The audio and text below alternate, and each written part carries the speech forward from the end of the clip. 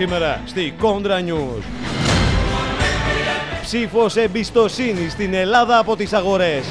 Ακόμη, τολμηρές πρωτοβουλίες από τον Αλέξη σε όλα τα μέτωπα.